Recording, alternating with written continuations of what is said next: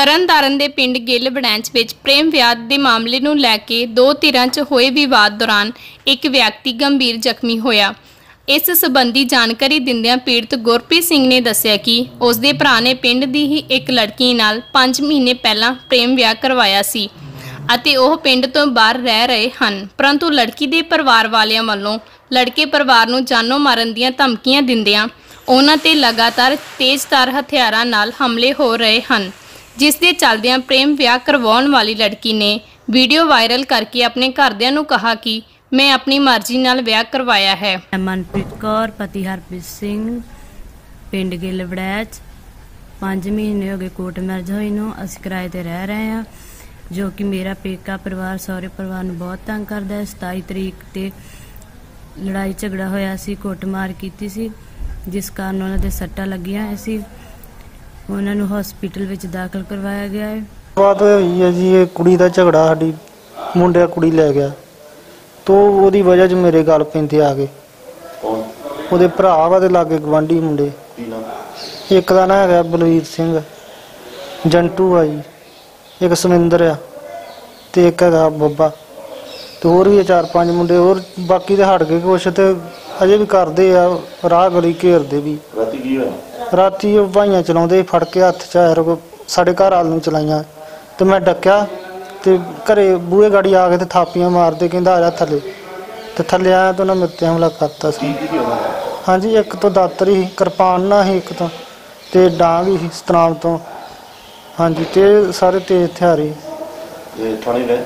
ਥਾਣੇ ਕੁਛ ਨਹੀਂ ਜੀ ਉਹਨਾਂ ਆਖਿਆ ਜਾਓ ਦਾਖਲ ਹੋ। ਕੀ ਚਾਹੁੰਦੇ ਤੁਸੀਂ? ਕੀ ਹੋਣਾ ਚਾਹੀਦਾ? ਹਾਂਜੀ। ਕੀ ਹੋਣਾ ਚਾਹੀਦਾ ਹੁਣ? ਇਹਨਾਂ ਦੇ ਸਖਤ ਸਖਤ ਕਾਰਵਾਈ ਹੋਣੀ ਚਾਹੀਦੀ ਹੈ। ਕੁੜੀ ਮੁੰਡ ਕੁੜੀ ਮੁੰਡੇ ਦਾ ਝਗੜਾ, ਕੁੜੀ ਮੁੰਡਾ ਭਾਵੇਂ ਸਵੇਰੇ ਆ ਜਾਣ, ਉਹਨਾਂ ਨੂੰ ਵੜ ਦੇਣ, ਜੋ ਮਰਜ਼ੀ ਕਰ ਦੇਣ, ਸਾਡਾ ਕੀ ਸੂਰ ਮੇਰੇ ਨਿੱਕੇ ਨਿੱਕੇ ਬੱਚੇ ਤੇ ਹਨ। ਅੱਗੇ ਵੀ ਸੱਟਾਂ ਲਾਈਆਂ ਵੇ ਕਾਚੂ ਮਾਰੇ। ਉਲਟਾ ਸਾਡੇ ਤੇ ਮੇਰੇ ਤੇ 326 ਦੇ ਪਰਚੇ ਬਣਾਏ, ਇਹਨਾਂ ਦੀ ਤਰਕ ਤੇ ਬਣਾ ਬਣਾ ਕੇ।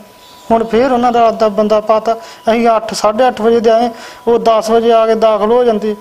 ਕੋਈ ਪੁੱਛਿਆ ਨਹੀਂ ਦੱਸਿਆ ਨਹੀਂ ਟਾਂਕੇ ਲਾਤੇ ਨਾ ਦਵਾਈ ਦਿੱਤੀ ਹੈ ਨਾ ਕੋਈ ਟੀਕਾ ਲਾਇਆ ਨਾ ਕੋਈ ਪੀੜ ਦਾ ਕੱਖ ਨਹੀਂ। ਇਹਨਾਂ ਹਾਂਜੀ। ਕੋਈ ਸੁਣਵਾਈ ਨਹੀਂ ਹੈ। ਅੱਗੇ ਵੀ ਦਰਖਾਸ਼ਾਂ ਦਿੱਤ- ਦਰਖਾਸ਼ਾਂ ਅੱਗੇ ਵੀ ਦਿੱਤੀਆਂ ਜਦੋਂ ਪਹਿਲਾਂ ਵੀ ਗੱਲ ਪੈ ਕੋਈ ਕਾਰਵਾਈ ਨਹੀਂ ਪੁਲਿਸ ਵੱਲੋਂ ਵੀ ਕਰਾਈ ਕੀਤੀ ਗਈ।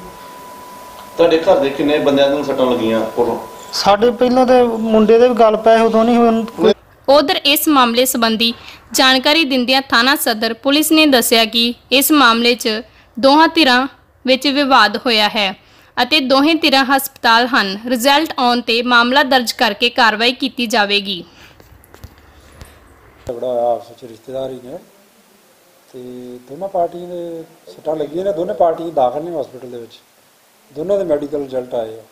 ਏਐਸਆਈ ਸੁੰਦਰ ਸਿੰਘ ਦੀ ਡਿਊਟੀ ਲਾਤੀ ਹੈ ਉਹ ਬਿਆਨ ਲੈ ਕੇ ਜੋ ਬਣਦੀ ਕਾਰਵਾਈ ਜਿਹੜੀ ਦੋਨਾਂ ਤਰ੍ਹਾਂ। ਲੜਕੀ ਦਾ ਮਾਮਲਾ ਵਾ ਲੜਕੀ ਕੱਢ ਕੇ ਖੜੀ ਹੈ ਜਾਂ ਮੈਰਿਜ ਕਰਾਈ ਕੋਰਟ ਮੈਰਿਜ ਕਰਵਾਈ ਹੈ ਉਹਨੇ? ਹਾਂ ਹਾਂ।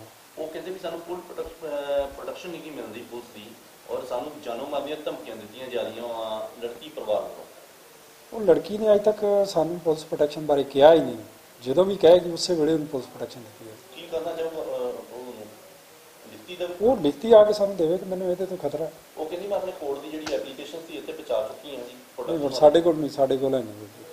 ਉਹ ਆ ਕੇ ਦੇਵੇ ਜੇ ਉਹਨੂੰ ਪੁਲਿਸ ਪ੍ਰੋਟੈਕਸ਼ਨ ਦੀ ਲੋੜ ਆ ਉਸੇ ਵੇਲੇ ਤੁਰੰਤ ਪਰ- ਪ੍ਰਭਾਵ ਨਾਲ ਉਸੇ ਵੇਲੇ ਦਿੱਤੀ।